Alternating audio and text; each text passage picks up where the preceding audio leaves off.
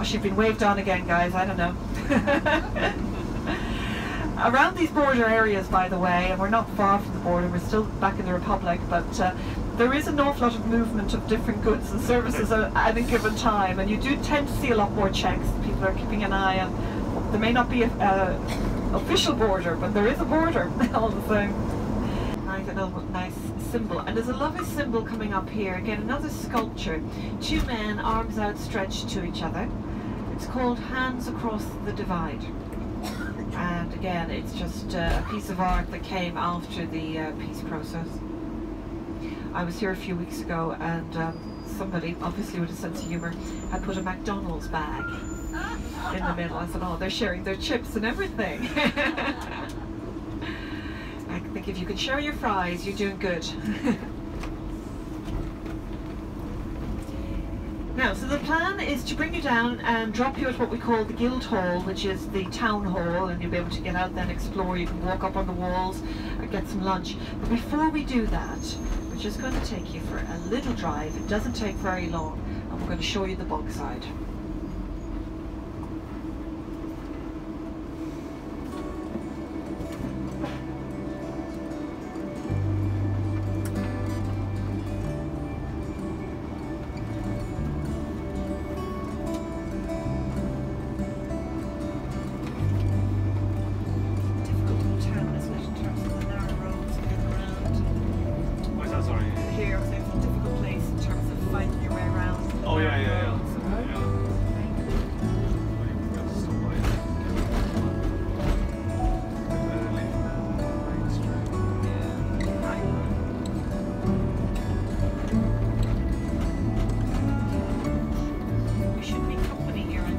Yeah, I get a, to a, one, a the Irish ones, Julian.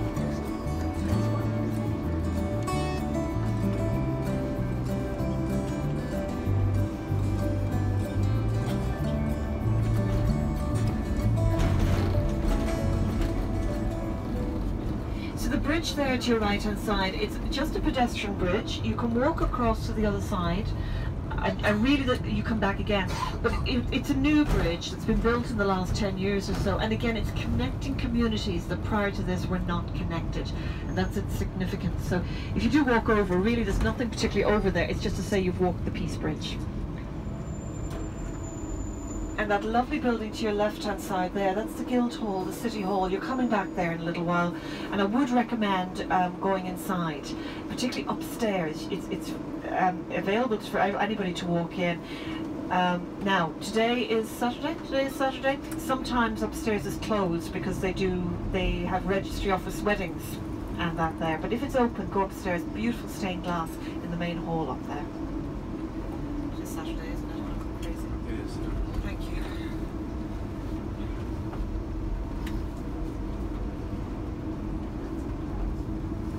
The river there, the River Foyle, was very significant in the Second World War, actually, and particularly the Battle of the Atlantic, where an awful lot of ships would have taken safe harbour there. The, the river flows right out to the Atlantic, um, and supply vessels, uh, support vessels, generally, they used the area here in Londonderry just to uh, to use, use it as a port. The Royal Canadian Navy was very significant here in Londonderry during the Second World War.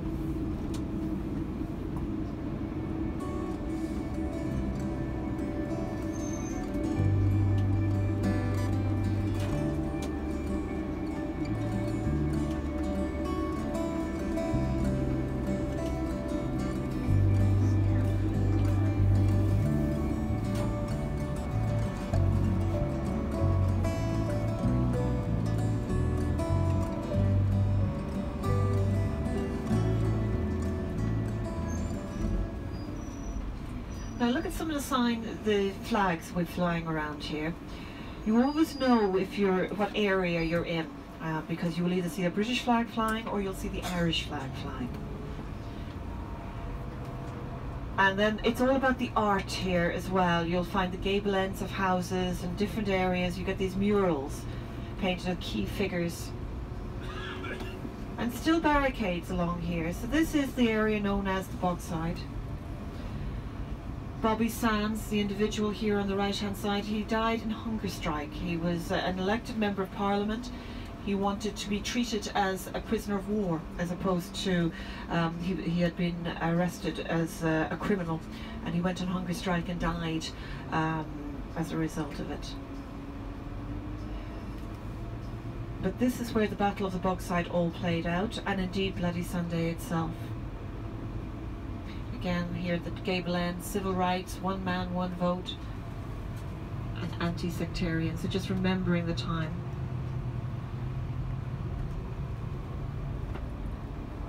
Memorial here on the left-hand side to those that died on Bloody Sunday.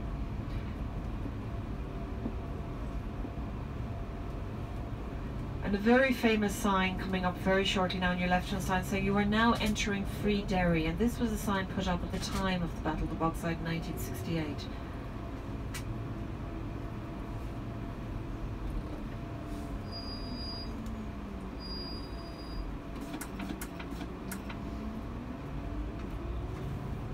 And again, different figures. Bernadette Devlin over there on the right hand side, very much active in the civil rights movement at the end of the 1960s.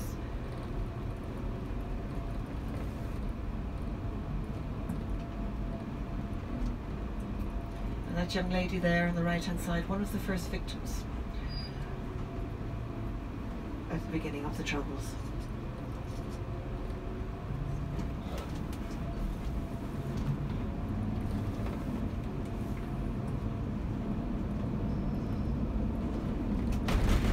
So it's still quite a poor area. You do get a sense of that. The people here were very much working class and they struggled, you know, they struggled to find work. It was a real issue over time that they just felt they had no choice but to take to the streets in terms of just publicising the situation as they saw it.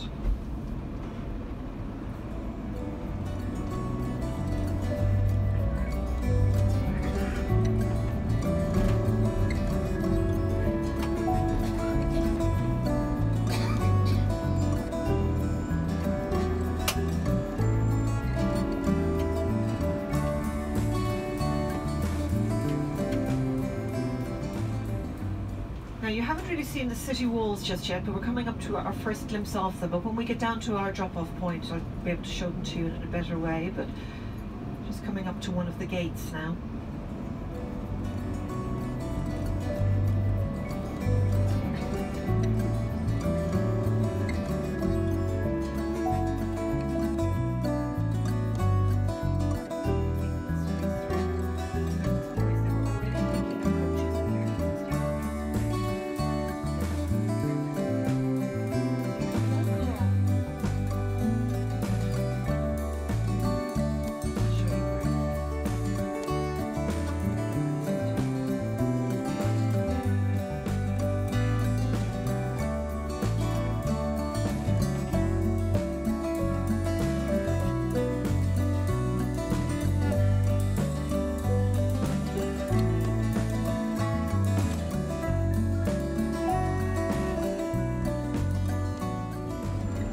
Just coming into a little square now called the Diamond.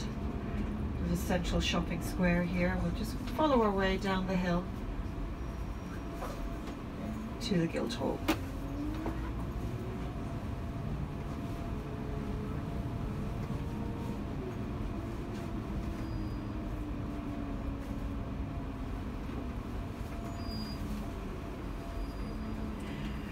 It's a steep hill.